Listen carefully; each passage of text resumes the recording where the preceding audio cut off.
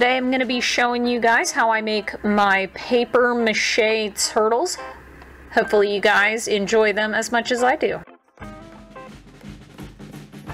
Now my paper mache turtles are made from recycled cardboard, so I hold on to any of my grits, cereal, anything like that, the cardboard from it. And first thing I do is take these boxes and disassemble them. So going along the seam that's on them, unfold them, stack them up. Um, if you guys have seen my other videos, my Cheap October, I actually like to cut the nice big square pieces out and save those for other pieces of artwork, but this leaves the little bits and I just decided to use them for other crafts, hence the paper clay. So I have a paper cutter here that I use to cut mine.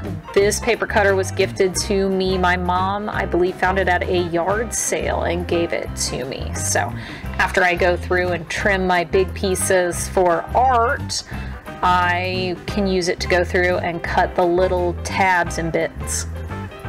If you don't have a paper cutter, you can always use scissors as well. So don't think that you're limited by a paper cutter.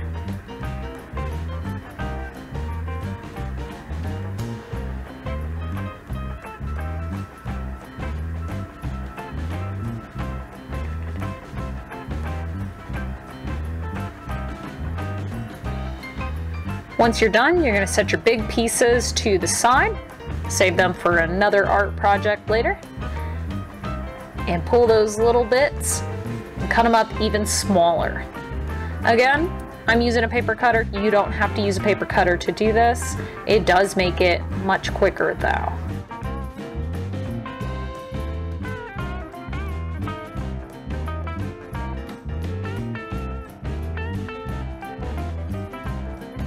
We're gonna take those little bits, add them to a bucket, add water,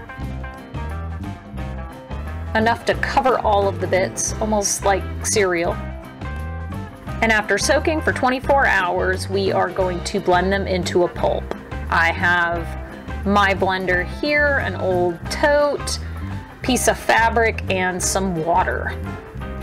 You're just gonna take some of your little paper cuttings, put them in your blender, add some water to it. I don't actually have a ratio for this. After you do it for a while, you'll start to get the feel of your blender and how much paper to water you need.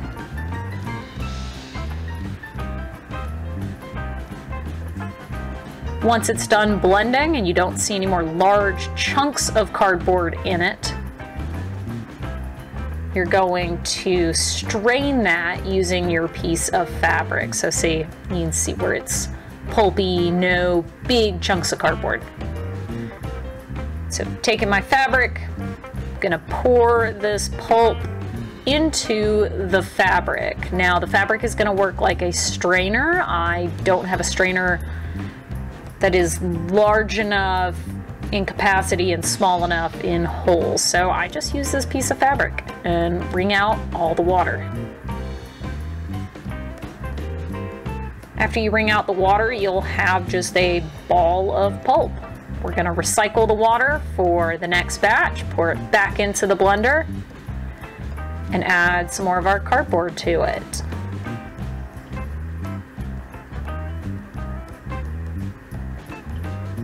And from there, we just repeat the steps of blending and straining with the fabric over and over. Once we have all of our paper mush, we are going to take our turtle pan, wipe it out, make sure that there's no pet hair or debris. Spray a non-stick spray. Mix our paper pulp with some Elmer's glue. And then just take your pulp, which is now your paper clay, and pack it into your mold.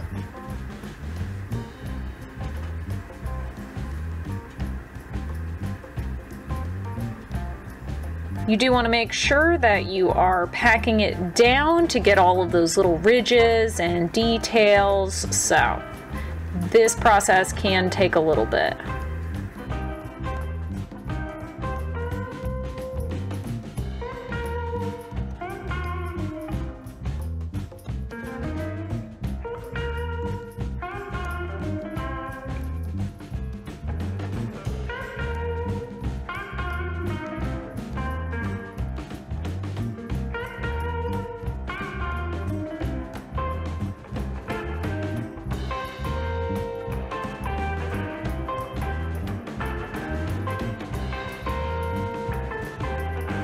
Once you have finished packing all of your paper clay into your turtle, let him dry for 24 hours. Here we have the turtle after he has set for 24 hours.